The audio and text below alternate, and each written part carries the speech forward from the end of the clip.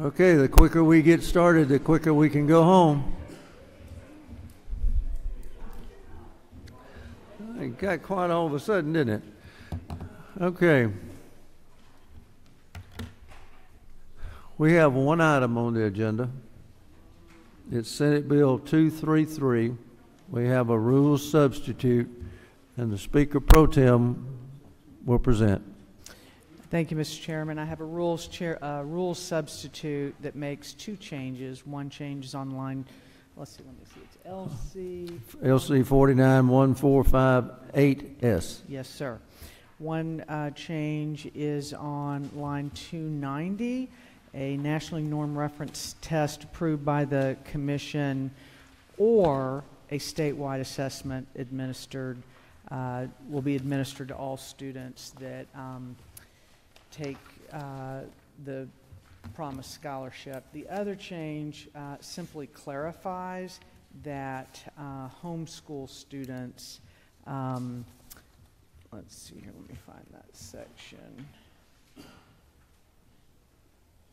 It clarifies that um, if you do not take the, um, the voucher that, let me just get that page, which page, here it was.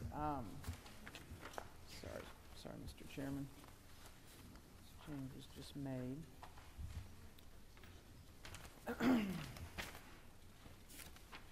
Here we go. It's on line 347. The provisions of this chapter shall not apply or be construed to apply to any student in a home study program unless such student is a participating student. Those are the only two, two changes um, since the Education Committee passed the bill out. Okay, does anyone have a question for the sponsor? Okay, Mr. Park. Thank you, Mr. Chairman. Uh, So I know that the Georgia Association of Educators and PAGE, they were very concerned with the version of this bill that passed committee. Do any of the rule substitutes address those changes?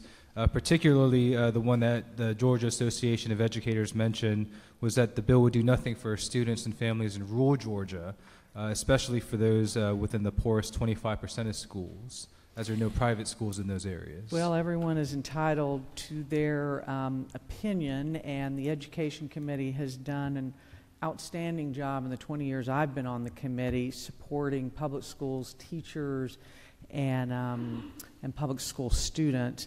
This uh, piece of legislation pert- pertains to the few students in which another option might be best. Thank you. Ms. Hugley. Uh, Thank you, uh, Mr. Chairman. Madam Pro Tem, can you um, clarify for me uh, what is a participating student uh, in line 350?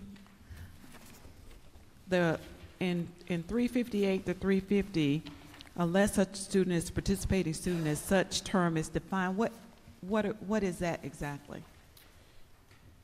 You mean where, where does it define a participating student? Yeah, it says It's on line 42. It's a student uh, for whom such account has been established. That is a participating student. It's a student that um, takes a promised scholarship to use for homeschool, micro school, or for private school purposes. Thank you. Okay, I don't see any more questions. All right, the the position we're in right now, we have Senate Bill 233, Rule Substitute, LC 49145-8S. So we're in the process of deciding where to carry this bill forward. Do I hear a move? Move. Got a move and a second. All in favor say aye. Aye. All opposed, like sign. Okay, all in favor, raise your right hand.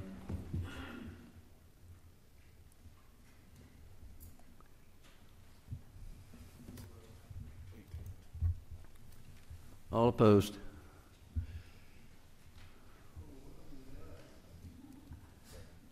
Okay, motion carried, so, um, we just passed Senate Bill two-three-three, Rule Substitute LC forty-nine-one-four-five-eight S.